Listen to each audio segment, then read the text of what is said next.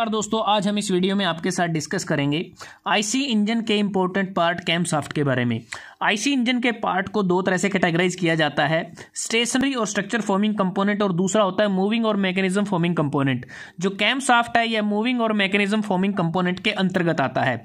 तो सबसे पहले देखते हैं कि जो कैम सॉफ्ट है, वो दिखने में कैसी होती है। डायग्राम आपको नज़र आ रहा है। जो कैम सॉफ्ट है, इसमें अगर हम बात करें अलग अलग पार्ट होते हैं, वो पार्ट इस प्रकार से हैं। इसमें ये एक साफ्ट होती है। साफ्ट के ऊपर कैम लोब्स लगे होते हैं, जिसे हम बम्प्स भी कहते हैं। इसके अतिरिक्त यहाँ पर इसमें एक टाइमिंग गियर होता है, स्प्रोकेट इसमें लगा होता है। कैम बियरिंग जर्नल होते हैं, कैम बियरिंग्स भी होते हैं। ये इसके मेन पार्ट होते हैं। और कैम साफ्ट को हम कास्टिंग के द्वारा भी बना सकते हैं फोर्जिंग के द्वारा भी इसको बनाया जा सकता है। और लेथ या मिलिंग मशीन पर मशीनिंग करके भी कैम साफ्ट को मैनुफैक्चर किया जा सकता है। इसको बनाने के लिए जो मटेरियल हम इस्तेमाल करते हैं, वो कास्ट आयरन हो सकता है फोर्ज्ड स्टील हो सकता है। तो अब बात करते हैं कि जो कैम साफ्ट है, इसे किस लिए यूज़ किया जाता है? एक प्रकार से जो कैम साफ्ट है, ये हमारा रोटेटिंग पार्ट होता है, ये रोटेट करता है। और इसका मेन कार्य रहता है कि जो इनलेट और जो एग्जॉस्ट वाल्व होते हैं, उसको प्रॉपर टाइम पर ओपन करना या फिर क्लोज करना, ये कैम साफ्ट का मेन कार्य रहता है। ये सारा कार्य कैम लोब्स की मदद से किया जाता है। अब बात करते हैं कि इसके जो फ़ंक्शन है, उसको तीन तरह से कैटेगराइज किया गया है। पहला फ़ंक्शन होता है कि राइट टाइम पर सक्शन स्ट्रोक के दौरान जो इनलेट वाल्व होता है, उसको ओपन करना ताकि कमर्शियन चैम्बर में हवा एयर या फिर एयर और फ्यूल का जो होमोजीनियस मिक्सचर है वो एंटर कर सके। दूसरा एग्जॉस्ट स्ट्रोक के दौरान टाइमली एग्जॉस्ट वाल्व को ओपन करना ताकि जो कमर्शियन चैम्बर में मौजूद ब्रंट एग्जॉस्ट गैसेज हैं वो एग्जिट कर जाएँ। बाकी जो टाइम बचता है जो कंप्रेशन या फिर एक्सपेंशन का टाइम होता है, उस दौरान इनलेट और आउटलेट वाल्व जो एग्जॉस्ट वाले हैं, उनको क्लोज रखना। ये मेन कार्य कैम साफ्ट के द्वारा किया जाता है। और कैम साफ्ट की अगर हम बात करें, ये जो क्रैंक साफ्ट होती है, उसके साथ ये कनेक्टेड होता है चेन की मदद से या फिर बेल्ट ड्राइव की मदद से या फिर गियर की मदद से ये आपस में कनेक्टेड होते हैं। और जो क्रैंक साफ्ट रोटेट करती है, उस रोटरी मोशन को चैन ड्राइव की मदद से स्प्रोकेट्स की मदद से कैम साफ्ट में भेजा जाता है।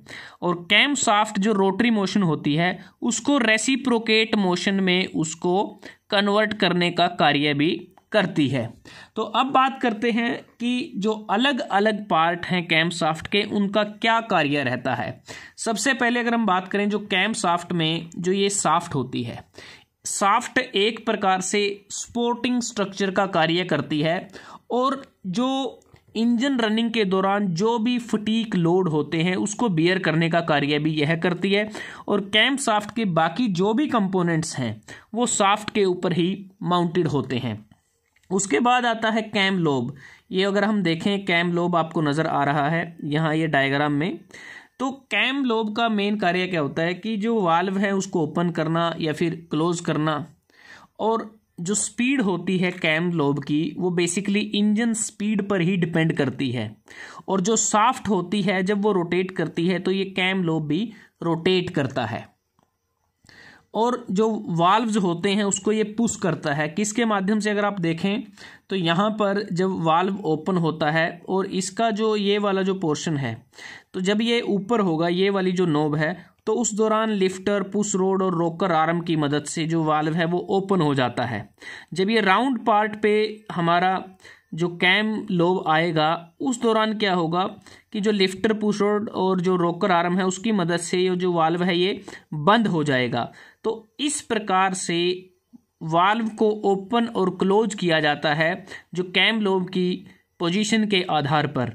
और ये जो रोटेशन हमें मिलती है, वो क्रैंक साफ्ट से मिलती है, जिसे चेन ड्राइव बेल्ट ड्राइव या फिर गियर की मदद से कैम साफ्ट में ट्रांसफ़र किया जाता है। और उसके बाद हम यहाँ पर इसको रेसिप्रोकेटरिंग मोशन में इसको चेंज कर देते हैं।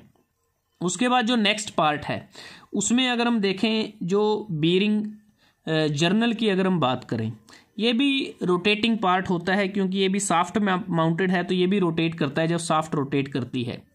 और एक प्रकार से ये जो फॉलोवर होते हैं, यहाँ पर अगर हम देखें, ये वाला वो पोर्शन जो है, जो लिफ्टर के साथ, यहाँ फॉलोवर के साथ ये काफ़ी कॉन्टेक्ट में रहता है, ये जो कैम बेरिंग जर्नल है। और ट्रांसफॉर्म करता है रोटरी मोशन को ये लीनियर मोशन में।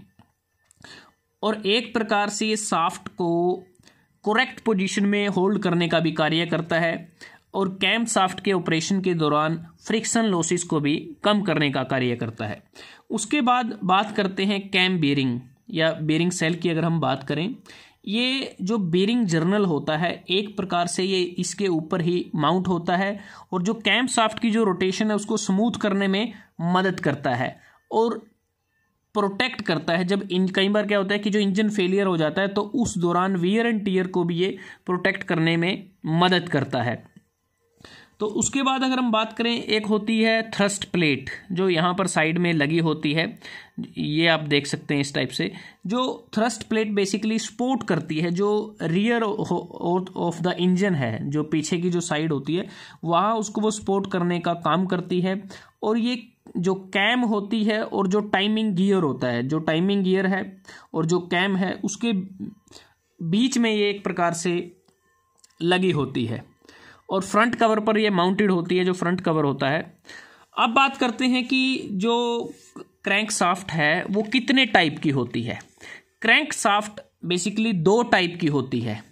एक होता है एस ओ एच सी जिसका मतलब है single overhead crank shaft D O H C जिसका मतलब है डबल ओवरहेड क्रैंक साफ्ट तो सिंगल का मतलब जैसे नाम से ही पता चलता है। इस केस में सिर्फ़ एक ही कैम साफ्ट का हम इस्तेमाल करते हैं और उस कैम साफ्ट के द्वारा ही जो इनलेट और एग्जॉस्ट जो वाल्व हैं, उन दोनों को कंट्रोल किया जाता है या ऑपरेट किया जाता है। और जो डी ओ एच सी है, डबल ओवरहेड क्रैंक साफ्ट इस केस में हम दो कैम साफ्ट का इस्तेमाल करते हैं। एक कैम साफ्ट पर इनलेट वाल्व को ऑपरेट किया जाता है, दूसरी कैम साफ्ट पर एग्जॉस्ट वाल्व को ऑपरेट किया जाता है। तो अब बात आती है कि कैसे ये एक दूसरे से अलग है। जो एस ओ एच सी है, इसका डिज़ाइन अगर हम देखें, वो सिंपल डिज़ाइन होता है, जबकि डी ओ एच सी का डिज़ाइन कॉम्प्लेक्स होता है। जो डी ओ एच सी है, ये एडवांस वर्जन होता है एस ओ एच सी का। और जो सिंगल ओवरहेड कैम साफ्ट है, इस केस में हम रोकर आर्म का इस्तेमाल करते हैं, जो आप यहाँ पर देख सकते हैं वाल्व की मूवमेंट के लिए। लेकिन डीओएचसी में रोकर आर्म का इस्तेमाल नहीं किया जाता।